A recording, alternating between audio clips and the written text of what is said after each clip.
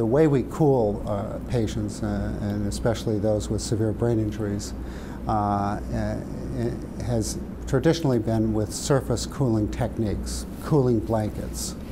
Uh, in addition, we may apply ice packs in the axilla, under the armpits, or in the groin areas where there's a, a great deal of blood flow so that you can affect the, the blood and cool the blood more quickly.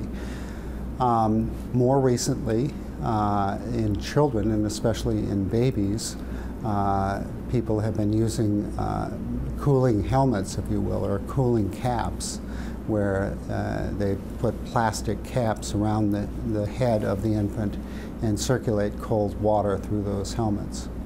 Uh, and uh, even more recently, we've uh, developed uh, devices where we can insert intravenous catheters with a, a, closed circuit system where we can circulate ice water through sausage-shaped balloons on those catheters. And so as the blood passes by those balloons, the blood is cooled.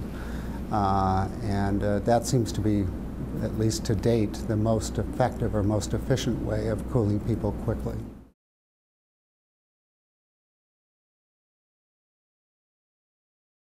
Several of us, including myself and, and Guy Clifton, years ago, uh, sort of arbitrarily decided that we would uh, just cool for 24 to 48 hours. And we did that because of two things. One, we thought that the maximum degree of metabolic change in the brain after trauma was during that first day or so after injury, which is what we were going after. Uh, and secondly, we knew that the longer you cooled, the greater the possibility that the patient was going to develop an infection or a pneumonia. The, the investigators in Japan have uh, used hypothermia uh, for as long as necessary in order to keep the intracranial pressure low.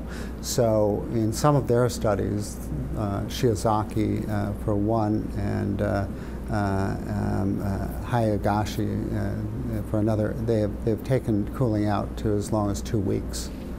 Um, but if you look at their clinical trials, their rates of pneumonia are double or triple what they have been for Dr. Clifton and my studies.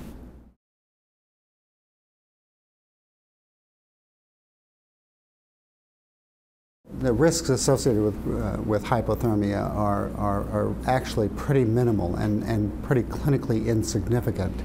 Um, uh, they depend on, on, on the um, intensity of cooling or how low you take the temperature. It also depends on how long you cool the individual.